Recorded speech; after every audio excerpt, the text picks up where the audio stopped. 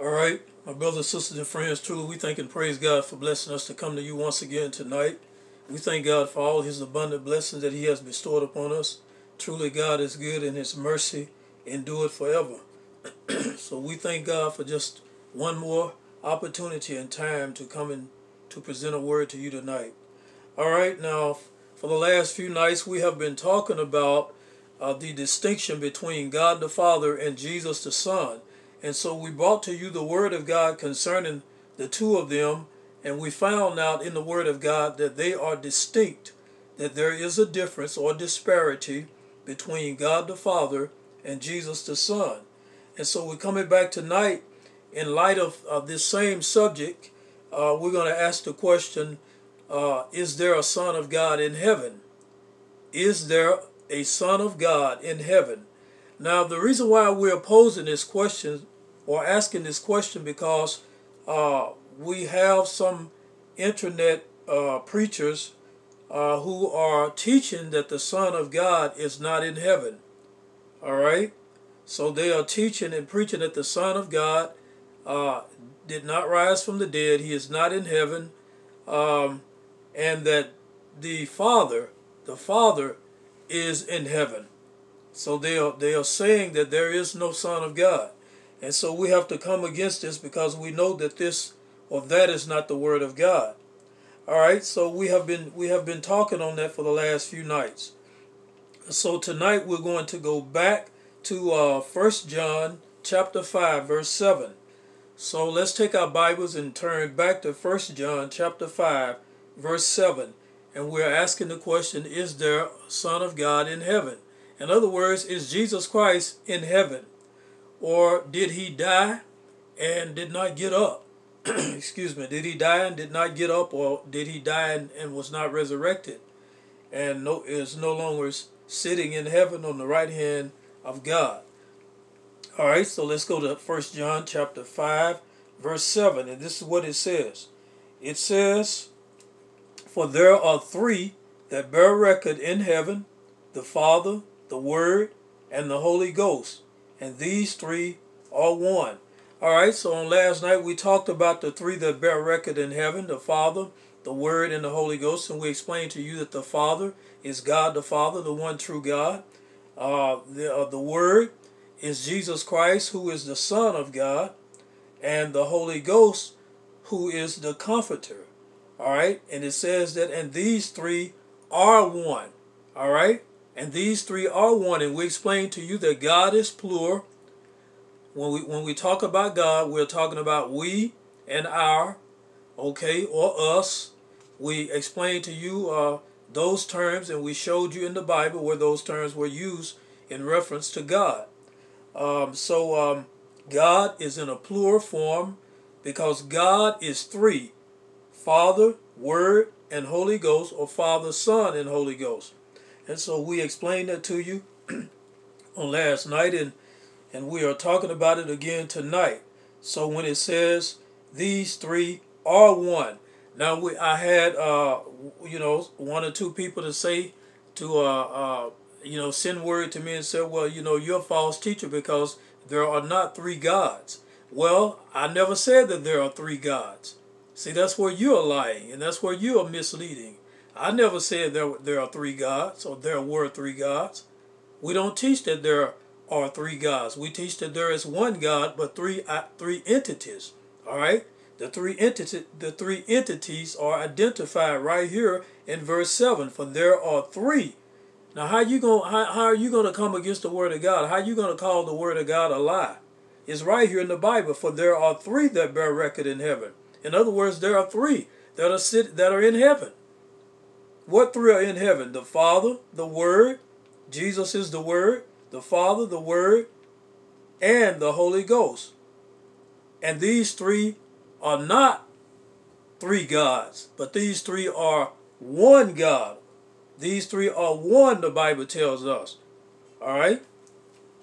Let's understand that. And let's not fight and kick against the Word of God.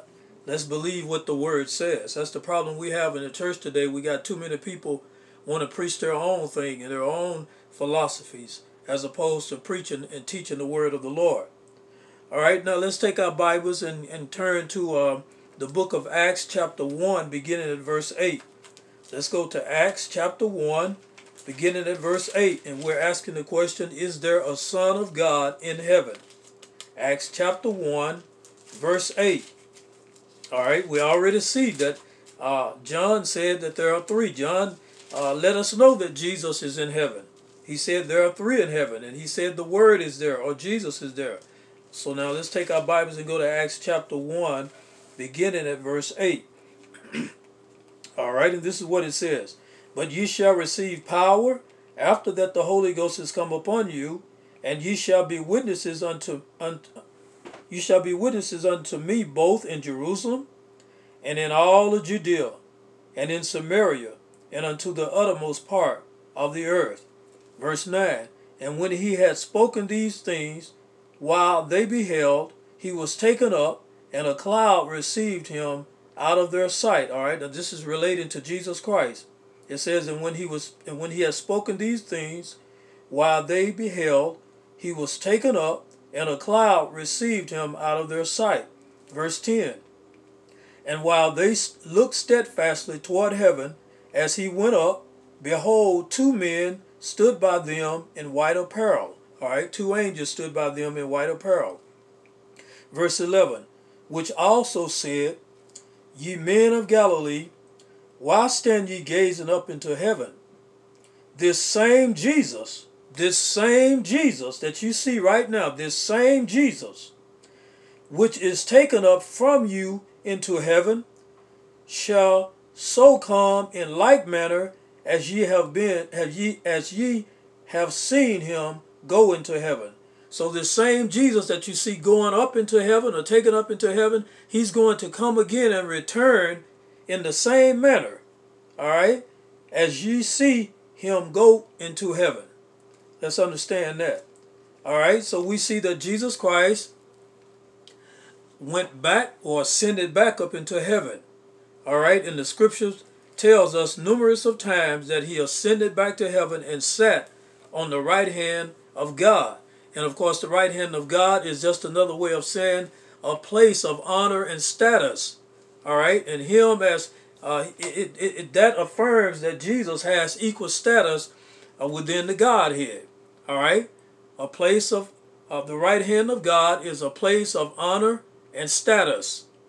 It, it doesn't necessarily uh, denote that there is a, a, throne there in heaven, now which it could be a throne in heaven, but we know for sure that it does denote power, uh, a place of status and honor.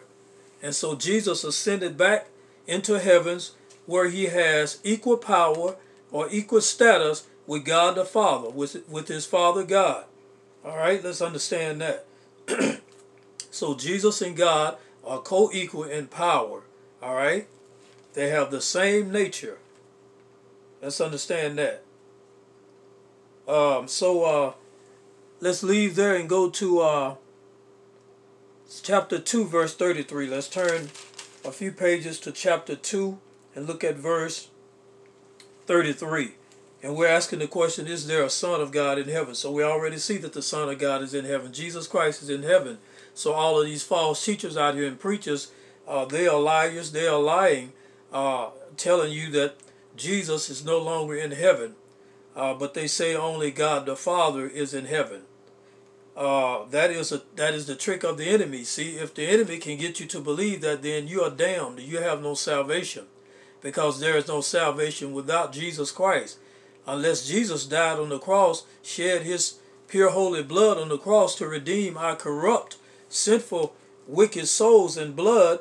Uh, there is no salvation. All right and and the Bible said we we would be we are men of most miserable. Glory to God. And there, you know, we, we have nothing forward to look to uh, uh, at the end of the grave. There is no life beyond the grave if Jesus Christ didn't come and die on the cross. Let's understand that. So we know that he is seated, seated at the right hand of the Father. He has all power and status, or honor and status and power as his Father God. All right. So Acts chapter 2 verse 33, uh, this is what it says. It says, Therefore being by the right hand of God exalted, and having received of the Father the promise of the Holy Ghost, he had shed forth this which we now see and hear. All right, let's look at that again. Let's look at verse 32. This Jesus hath God raised up, whereof we all are witnesses. So we see that Jesus raised up, that God raised up Jesus, and the disciples declared that they are witnesses. Therefore, being by the right hand of God exalted, being by the right hand of God exalted, Jesus has been exalted, and he's by the right hand of God, and having received of the Father the promise of the Holy Ghost, he had shed forth this which we now see and hear. All right, so we see that the God the Father has exalted Jesus, and he is at the right, he is at his right hand, and we see that Jesus did rise from the dead. So let's understand that there is a Son of God in heaven. We need to turn a deaf ear to these false teachers and preachers that are telling you that the Son of God is not in heaven. All right? And I'm not going to call the person's name tonight, the false preacher who I've been talking about, uh, the false prophet and apostle who I've been talking about that has that uh, uh, is saying that. All right? I'm not going to call his name tonight. But I just want you to know, according to the Word of God, it's a lie. Jesus Christ is sitting in heaven at the right hand of the Father. All right, now let's take our Bibles and go to Romans chapter 3, verse 1. Rome, I'm sorry, Romans chapter 8, verse 34. Romans chapter 8, verse 34. And let's see what it says. Romans chapter 8, verse 34. All right. This is what it says, Romans 8, Romans 8, verse 34. Who is he that condemneth? Is it Christ that died, yea, rather, that risen again, who is even at the right hand of God, who also maketh intercession for us. All right, let's go back and look at verse 34 again. Who is he that condemneth? It is Christ that died, yea, rather, that is risen again, who is even at the right hand of God, who has maketh, who also maketh intercession for us. All right, so we see that Jesus Christ has died and he has risen again. Not only did he die, but he rose again. The Bible says here in verse 34, he has risen again, who is even at the right hand of God. He has risen, he died, he has risen again, and he's at the right hand of God, and he's making intercession for us. He's going on our behalf. All right, he's making intercession for us. This is one of the things that Jesus Christ is sitting on the right hand of God and doing for we as children of God. All right, now let's go to Mark 16 and 19. St. Mark 16 and 19 and see what it says. And we're asking the question, is there a son of God in heaven? Is there a son of God in heaven? And we already see that there is a son of God in heaven, despite what the false teachers and the false prophets are preaching. All right, uh, St. Mark 16 and 19. And this is what it says. So then, after the Lord had spoken unto them, he was received up into heaven and sat on the right hand of God. All right, so we see in verse 19 uh, that the Lord has spoken uh, those words when he said, uh, These signs shall follow them that believe in my name. Uh, shall they uh, cast out devils? They shall speak with new tongues. Jesus was the first one to talk about the new tongues, all right, in the New Testament. He said, In my name uh, they shall cast out devils. They shall speak with new tongues. They shall take up serpents, and if they drink any deadly thing, it shall not hurt them. They shall lay hands on the sick, and they shall recover. In verse 19, so then, after the Lord has spoken unto them, he was received up into heaven and sat on the right hand of God. So we see that Jesus Christ, according to many scriptures in the Bible, was received up into heaven or ascended to heaven, and he sat on the right hand of God, meaning for the most part that he has a place of honor and status. All right, and it, it affirms that Jesus has equal status with God the Father within the Godhead. All right, and as we explained to you that the Godhead is the Father, Son, and the Holy Ghost, and these three are one God. All right, So all of you out here that are lying on, on, on Christians who say that uh, we believe in uh, the Godhead or we believe uh, in uh, the Father, Son, and the Holy Ghost, you are lying on us and saying that we have three gods or we say that we have three gods. Uh, we do not teach uh, that we have three gods. We teach that God is one. There is only one God. But that one God is the Father, Son, and the Holy Ghost. All right? And we do not teach and believe that God the Father, that's a lie and a trick of the devil. All right? That's false teaching that the only somebody that is sitting in heaven is God the Father. God the Father is in heaven, but also Jesus the Son is in heaven on the right hand of God. Let's understand that. All right? Now, uh, we we uh, mentioned to you on the other on last night that we were going to take a look at some of the scriptures on the Godhead. So let's take our Bibles and go to Acts 17, verse 29. let's turn our Bibles to Acts 17, chapter the 29th verse, and it's going to tell us about the Godhead. All right? Everything that we teach and preach, we have scripture for it. And we certainly know how to rightly divide the word of truth. Let's understand that. So that's Acts 17, verse 29.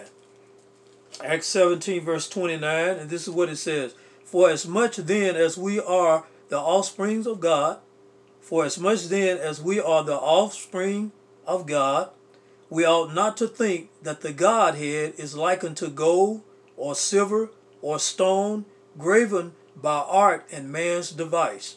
All right, let's take a look at verse 29 again. For as much then as we are the offspring of God, we ought not to think that the Godhead is likened to gold or silver or stone graven by art and man's device. All right. So the, the Godhead is, is, is, is not uh, like gold and silver or stone. All right. We, it shouldn't be compared. We ought not to think that is that the Godhead is, is, is like that. Let's understand that. Uh, the Godhead has nothing to do with those things or man's device. It is God Himself. Let's understand that the Godhead is God Himself. Let's understand that. The Holy Ghost is 100% God. Let's understand that. The Holy Ghost is God. Jesus is God. And God the Father is God.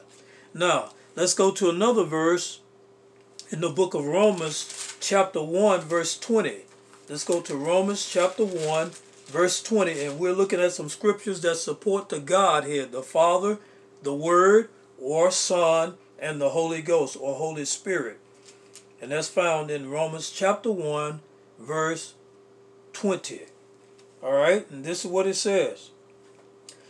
For the invisible things of him from the creation of the world are clearly seen, being understood by the things that are made even his eternal power and Godhead. So they are without excuse. All right, let's look at that scripture again. Uh, for the invisible things of him from the creation of the world are clearly are clearly seen, being understood by the things that are made, even his eternal power and Godhead, so that they are without excuse. All right, so we see that the Bible talks of the Godhead right here in Romans 1 and 20. Now, our last scripture we have supporting the Godhead is found in Colossians chapter 2, verse 9. Excuse me. Let's go to, to uh, Colossians chapter 2, verse 9, and take a look at the last scripture on the Godhead, the Father, the Son, and the Holy Spirit. We do not believe uh, in oneness like that. We do not believe that God is that Jesus is God the Father, God the Son, and God the Holy Ghost. We do not believe that that is false teaching, and the Bible doesn't teach that. Jesus is not God the Father, God the Son, and God the Holy Ghost. Jesus is God the Son. All right? He, he is a member of the Godhead. Let's understand that. All right, Colossians chapter 2, verse 9. This is what it says. Colossians chapter 2, verse 9. For in him dwelleth all the fullness of the Godhead bodily. All right, for in him, for in Jesus, dwelleth all the fullness of the Godhead bodily. All right, that means that Jesus has all of the Godhead in him. Let's understand that. And all of the Godhead is in the God the Father. And all of the Godhead is in God the Son. And just because we say God the Father, God the Son, God the Holy Ghost, does not mean we're saying three gods. We're saying that God the Father is God, not a God, but He is God. See, there's only one God. God the Father is God, God the Son is God, and God the Holy Ghost or Holy Spirit is God. God the Father is not a God. God the Son is not a God. God the Holy Ghost or Holy Spirit is not a God. Let's understand that, people. We only have one God. And so all of you out there are teaching and saying, well, let me use this word this time. Well, those Trinitarians, they have three gods. You just a lie. You just a liar. We never said we had three gods. The Bible doesn't teach three gods. It said these three are one. And the problem with you oneness, folks, you don't want to you don't want to recognize these three that the Bible says. You want to make these three one who is Jesus Christ or God the Father, but it doesn't say that. All right, let's understand that. Now, we're going to stop right there and we're going to come back and we're going to pick up from there. We'll be right back. God bless you. Bye bye.